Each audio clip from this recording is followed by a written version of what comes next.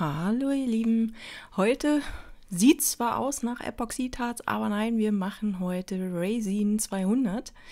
Die, dieses Gießmaterial hatte ich schon öfter mal, da gibt es auch schon etliche Videos zu. Ich mag das Material sehr, weil wenn man das so anfasst, hat das so einen schönen, glatten, geschmeidigen Touch irgendwie. Ich mag es sehr und habe diesmal, äh, ich habe es woanders gesehen, mir fällt es leider wieder nicht ein. Ich würde total gerne Credits geben. Falls ich es noch finde, verlinke ich es unten. Ich glaube, ich habe es bei TikTok gesehen und mache diesmal ein paar Streifen. Das heißt, diesmal äh, zu Resin kann ich sagen, äh, das Ganze ist nicht wie beim Epoxidharz, was ich nutze, 1 zu 1, sondern dort wird, äh, so ich lese es mal ab, 1 zu 3,5. Das heißt, ein Teil Wasser und äh, 3,5 Teile Pulver. Und da muss man immer, also ich zumindest, mein Köpfchen so ein bisschen anstrengen, damit ich halt auch richtig mische, weil ich so verwöhnt bin vom Epoxidharz. Und ja, diesmal sind es diese zwei Schalen, die ich gerne machen möchte.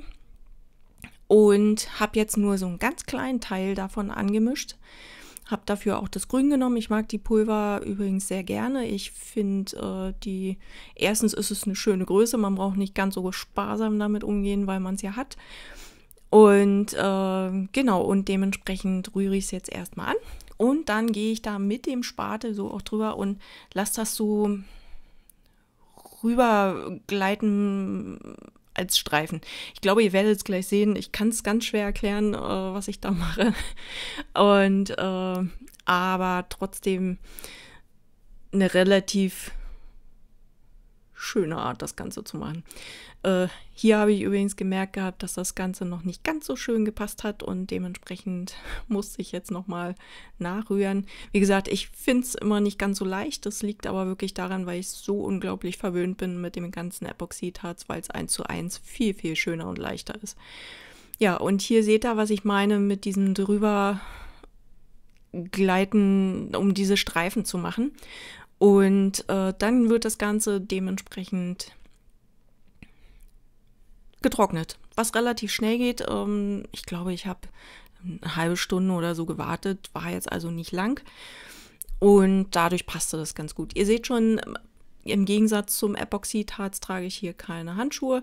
Handschuhe kann man tragen, weil es natürlich auch so ein bisschen die Hände vielleicht austrocknet, wenn man es halt äh, mehr an den Händen hat.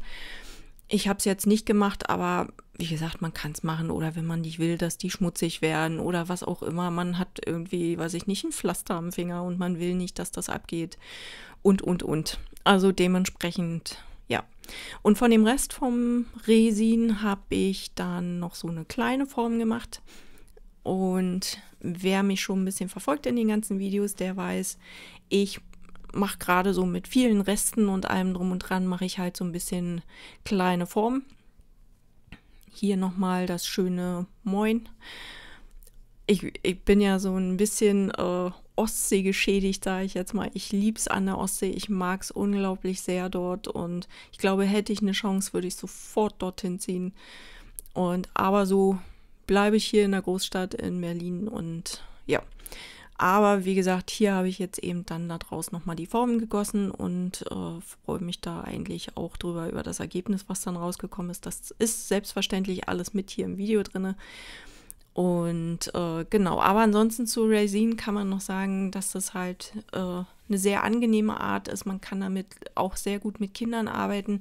Ich habe jetzt keine Altersbeschränkung gefunden. Ich selber würde es wahrscheinlich vielleicht ab acht, wenn man dabei steht, ist aber nur eine gefühlsbedingte, ist auch immer kindabhängig ein Stück weit. Äh, wie gut äh, ist es schon, wie viel nimmt das Kind noch selber in den Mund? Ich würde es jetzt nicht zulassen, dass jetzt das Kind das Ganze in den Mund nimmt. Und aber ich glaube, jeder kennt da sein Kind selbstverständlich und ist im Gegensatz zum Epoxidharz auch für Kinder geeignet. Aus meiner Sicht. Das sag ich. Und äh, ja, und jetzt habe ich es dann trocknen lassen und dann habe ich wieder neu angemischt. Und wie gesagt, ich tue mich manchmal ein bisschen schwer. Und diesmal wollte ich es dann mit zwei Farben machen. Ich bin mir nicht komplett sicher. Also es gab so ein bisschen. Nee, ich, ich erzähle es euch dann, wenn ich soweit bin. Ähm, genau, also ich habe es jetzt einfach nochmal neu angerührt eine etwas größere Masse aufgrund dessen, weil das halt dann dementsprechend natürlich für die zwei Formen reichen musste. Ich wollte das in zwei unterschiedlichen Farben machen. Und ja, während ich hier mische und ihr mich dabei begleiten dürft, äh, übrigens ist meine Waage gerade gefühlt ständig ausgegangen. Äh, entweder ist die wirklich jetzt langsam kaputt oder die Batterie war wirklich alle. Ich musste die Batterie auch austauschen. Ich weiß es nicht. Ich vermute ja einfach mal, dass das nicht ganz so schön funktioniert hat. Genau, hier äh, rühre ich das Ganze zusammen und habe mir dann, weil meine Waage, glaube ich, so ein bisschen defekt ist, dann auch noch die Küchenwaage geholt, weil ich weiß nicht, äh, meine Waage spinnt da gerade so ein bisschen und ist so ein bisschen. Hm. Aber gut, äh, die Küchenwaage hat es jetzt auch gerettet, so ein bisschen, dass ich da eben weitermachen konnte, weil ich es gerne machen wollte. Ansonsten hätte ich nämlich keine Waage mehr gehabt. Und jetzt muss ich mir überlegen, was ich stattdessen irgendwann mache. Ob ich mir eine neue kleine Waage hole oder nicht. Und ja, während ich jetzt hier mische, so ein bisschen, ähm, da sind vielleicht so der ein oder andere nochmal ein bisschen genervt, äh, wenn ich es immer wieder mal sage. Aber wenn ihr Fragen habt oder euch Tatsache sehr gerne in den Kommentaren und ich versuche euch die zeitnah zu beantworten. Oder halt, wenn ihr Ideen habt, was ich gerne mal ausprobieren soll, schreibt mir die auch gerne rein. Ich probiere es gerne aus. Versuche da einfach mein Glück, ob das wirklich so leicht ist manchmal. Es gibt ja ganz viele tolle YouTube-Videos, wo ich immer denke, oh ja, das ist so toll, das will ich auch machen. Und dann stelle ich fest, nein, ich krieg's nicht hin. An was auch immer es liegt, ob ich jetzt da einfach äh, grobmotorisch veranlagt bin oder wie auch immer, oder meine Kreativität halt auch nicht ausreicht dann dafür, ist das dann leider manchmal nicht gut. Und äh, wo ich dann immer denke, so schade. Und ja, aber ansonsten hier, ich rühre soweit zusammen. Achtet bitte immer drauf, dass es gut homogen als äh, Masse ist, also keine Klümpchen mehr drin sind. Äh, rührt da ruhig sehr gut. Oft ist es bei mir immer noch der Fall, dass halt unten immer noch so ein bisschen ist. Aber ansonsten der gröbste Teil ist bei mir eigentlich immer sehr homogen und funktioniert sehr gut. Und dann teile ich das Ganze in zwei Becher. Das heißt einmal in Orange und einmal in Gelb. Das heißt, die Formen sollen ja in zwei verschiedenen Farben sein. Und äh, ich mag die Farben, wie gesagt, sehr gerne und wollte eben erst das Grün nehmen, habe mich dann aber ganz schnell umentschieden. Übrigens, falls sich jemand wundert, warum ich das Grün in der Hand hatte. Und äh, genau, also man kann mit den Farben halt unglaublich viel machen. Man hat eine schöne Größe, man braucht nicht geizig sein. Und gerade beim Resin habe ich festgestellt, dass die halt viel Farbe brauchen, damit halt eine bestimmte Färbung halt auch möglich ist. Es gibt mittlerweile viele Farben auch, die sind direkt für so ein Jasmonite, also das gibt es ja auch. Es gibt ja unterschiedliche Hersteller und ähnliches und aber dementsprechend ist das jetzt einfach dann, für mich ist es Resin. Jasmonite ähm, habe ich bisher so nicht bestellt bekommen. Das lag aber wirklich dann eben an mir.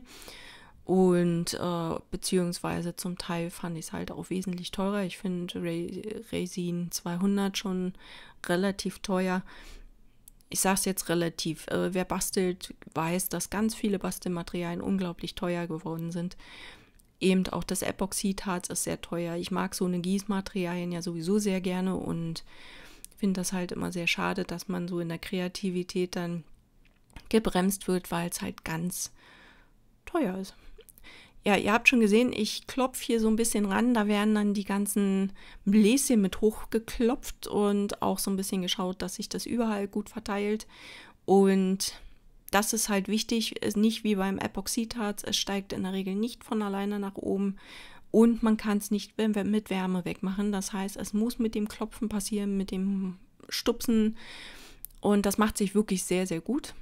Und ich freue mich da eigentlich immer, wenn ich die fast alle Blasen weg habe. Ich glaube, ich habe noch nie komplett ein Stück jetzt gehabt, was komplett blasenfrei war. Dafür habe ich das Gefühl noch nicht entwickelt und einfach auch noch nicht so viel jetzt dann mitgemacht. Ich mag das Material sehr, aber eben halt noch nicht so extrem, dass ich jetzt extrem viel mitgemacht habe. Weil natürlich, man muss natürlich auch bedenken, man kann nicht immer alles verschicken, äh, verschenken und allem drum und dran. Wie gesagt, ich mache es als Hobby, ich verkaufe es nicht, äh, sondern ich verschenke es immer und freue mich, wenn sich dann die Beschenkten auch darüber freuen. Und genau. Und das Ganze wird jetzt aushärten. Und ich habe es circa nach anderthalb, zwei Stunden rausgenommen. Die komplette Durchhärtung äh, oder Trocknung passiert so nach zwei bis acht Tagen, aber man kann schon nach den zwei Stunden auf jeden Fall das Ganze rausnehmen und auch ein Stück weit weiterverarbeiten. Also, aber eben halt noch nicht komplett hundertprozentig. Ich lasse es wirklich immer noch liegen. Bei mir bleiben die Sachen eh meistens immer im Moment liegen, weil ich es nur am Wochenende schaffe, das Ganze zu bearbeiten und freue mich da dann halt dementsprechend. Und ja, und ihr habt auch mein Herzchen gesehen, was ich da jetzt noch rausgeformt habe, weil ich das ähm, immer sehr gerne mag. Und ich habe ja ein anderes Projekt geplant und da wird dann so ein bisschen geschaut. Hier habe ich jetzt noch mein Moin und äh, oder wie auch immer, jeder hat ja so seinen eigenen Stil, das Ganze auszusprechen.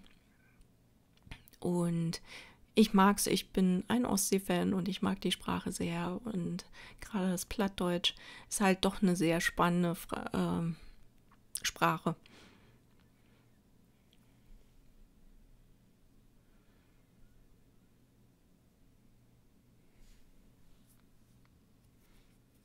Während ich jetzt noch informe, sage ich nur dazu, meine Bastelvideos sind in der Regel um 12 sonntags online und meine Musikvideos um 16 Uhr, je nachdem, was ich halt hochlade. Es kann auch mal so später werden, das Musikvideo, weil ich einen ganzen Auftritt hochlade, weil ich gerade irgendwo gewesen bin. Und aber ansonsten wird meistens auf dem Sonntag ein Lied hochgeladen, weil nicht jeder möchte ein ganzes Video über zwei Stunden sich angucken ist jeder unterschiedlich und äh, meine Bastelvideos versuche ich ja auch immer nicht ganz so extrem lang werden zu lassen.